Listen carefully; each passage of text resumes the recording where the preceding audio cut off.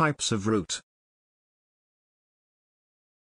The two main types of roots are taproot, and fibrous root. A taproot is a large, central, and dominant root from which other roots sprout laterally.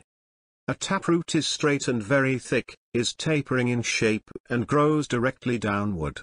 Taproots develop from the radicle of a seed, forming the primary root. It branches off to secondary roots, which in turn branch to form tertiary roots. These may further branch to form rootlets. Plants with taproot have leaves with reticulate venation. Examples of taproot are carrot, beetroot, radish, coriander, pine etc. A fibrous root consists of groups of roots of similar size and length. It is usually formed growing from the stem.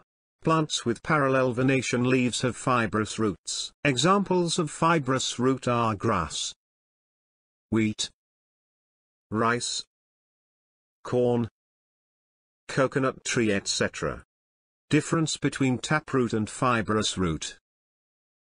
In taproot, there is one large, long root. In fibrous root, one large, long root is absent.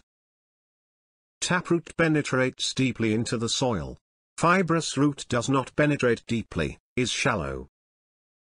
Taproot has lateral roots developing from main root. Fibrous root does not have lateral roots developing from one main root.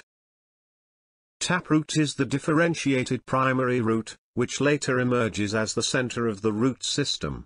Fibrous root is not the differentiated primary root and is eliminated in later stages. Taproots develop from the radicle of a seed.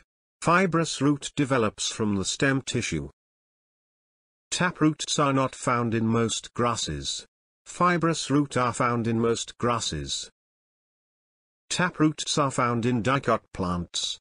Fibrous root are found in monocot plants. Taproots can act as a storage organ for food in some cases.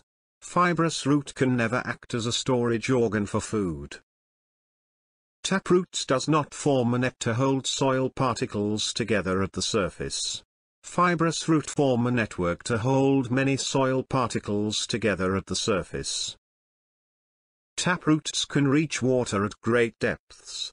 Fibrous root can't reach water at great depths. Taproot occurs in gymnosperms. Fibrous root does not occur in the gymnosperms. Taproot grows straight down vertically. Fibrous root grows more horizontally in all directions.